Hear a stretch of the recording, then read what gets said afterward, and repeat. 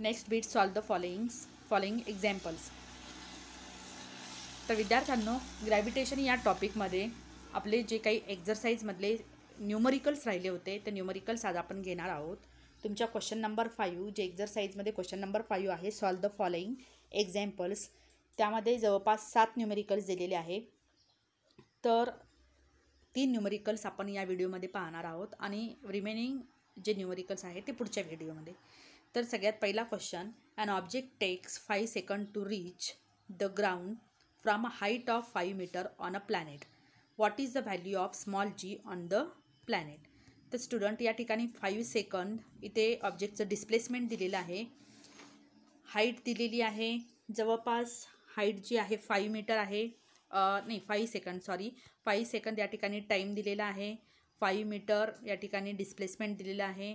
आणि what is the value of g on a planet आपल्याला प्लॅनेटवरती असलेले जीची व्हॅल्यू फाइंड आउट करायची परत एकदा problem and object is five second to reach the ground from a height of five metre तर पाच मीटर हाईटवरून एका ऑब्जेक्टला खाली येण्यासाठी पाच सेकंद एवढा टाईम लागतो. तर what is the value of small g on the planet तर त्या प्लॅनेटवरती जीची व्हॅल्यू ही किती असेल? तर सी एस सोल्युशन हेअर या ठिकाणी इनिशियली ऑब्जेक्ट हा रेस्टमध्ये होता म्हणजे स्टेबल होता. तर त्याचा झिरो मीटर पर सेकंद या ठिकाणी आपण विलॉसिटी घेणार. As an object reach from a height आणि त्याने किती डिस्टन्स कवर केलेलं आहे? Five metre so S is equal to five metre object takes five second to reach on the ground तर टाईम या ठिकाणी पाच सेकंद आहे.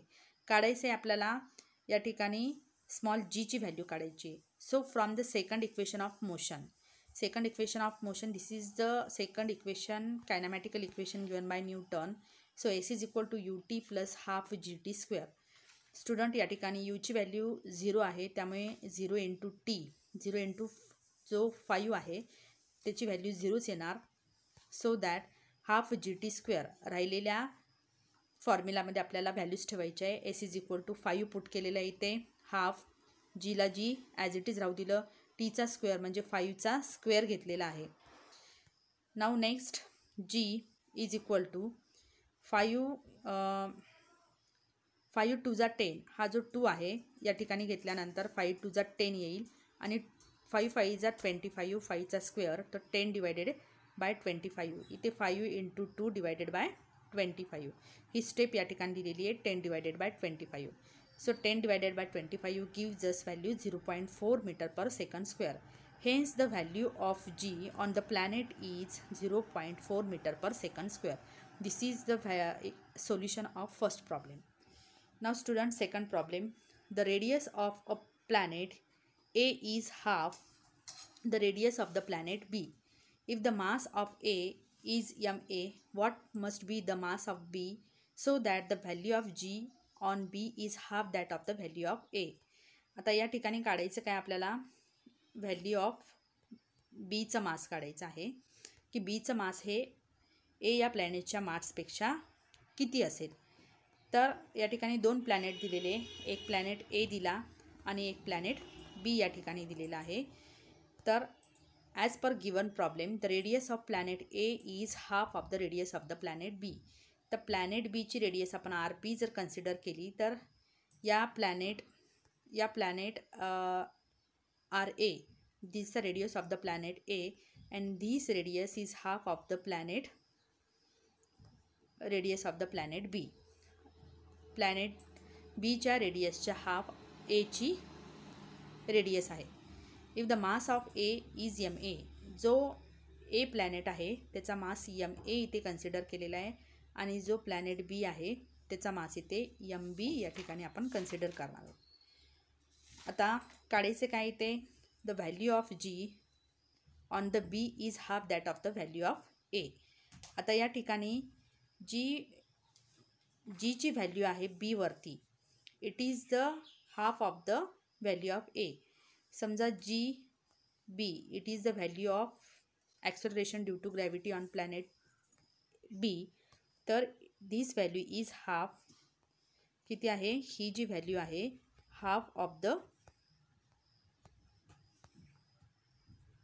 this is the half of the g now see here solution या ठिकाणी solution बघा.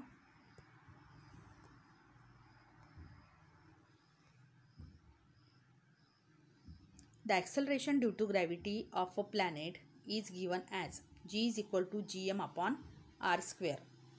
तर या ठिकाणी ॲक्सेलरेशन ड्यू टू ग्रॅव्हिटीचं इथे फॉर्म्युला आहे. For planet एसाठी g A is equal to G M A divided by R square and for planet B तर planet बीवरती ॲक्सेलरेशन ड्यू टू ग्रॅव्हिटीची व्हॅल्यू आहे. G M B divided by R square B या ठिकाणी G gravitational constant आहे. M A is the mass of planet A and R A is the radius of the planet A या ठिकाणी again g B the gravitational constant universal gravitational constant आहे M B B the mass of the planet B and R B this the radius of planet B now as per given data g value आहे acceleration due to gravity on planet B is half of the acceleration due to gravity value of acceleration due to gravity on the planet A so that we we are taking g B is equal to half into g into A आता ही value जी आहे आपल्याला या फॉर्म्युलामध्ये put करायची तर या ठिकाणी काय येईल? G M B divided by R B square is equal to G M A divided by two R square A या ठिकाणी हाफ घेतलेली आहे आपण जीची value M B again M B आता या ठिकाणी जी जी जर कट झाला तर हा तर काय आहे? एम बी एम बी आणि हा R two R square B हा या ठिकाणी न्यूमरेटरमध्ये जाणार आहे. R square B. So R square B या ठिकाणी न्यूमरेटरमध्ये गेला. जी व्हॅल्यू आहे M A R square B divided by two R square A. Given परत radius of planet A is half of the radius of the planet B. त्याच्यामुळे M B is equal to काय येईल? M A R square B as it is राहील. या R एच्या ठिकाणी आपण काय ठेवणार? Half R B whole square आता या ठिकाणी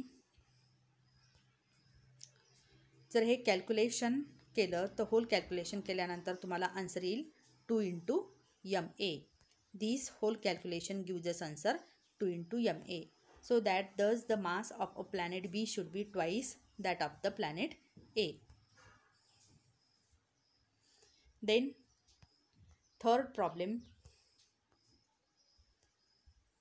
the mass and weight of an object on the earth are 5 kg and 49 newton respectively what will be the what will be their values on the moon assume that the acceleration due to gravity on the moon is one sixth that of the earth तर विद्यार्थ्यांनो या ठिकाणी एका ऑब्जेक्टचं मास five kilogram आणि त्याचं weight forty nine newton respectively सांगितलेलं आहे या ठिकाणी आपल्याला what will be their values म्हणजे त्याचं मास त्याच ऑब्जेक्टचं मास आणि त्याचं वेट जे आहे मूनवरती किती राहील हे आपल्याला काढायचं. आहे द ॲक्सलरेशन ड्यू टू ग्रॅव्हिटीची जी व्हॅल्यू आहे मूनवरती आपल्या अर्थपेक्षा वन सिक्स्थ असते.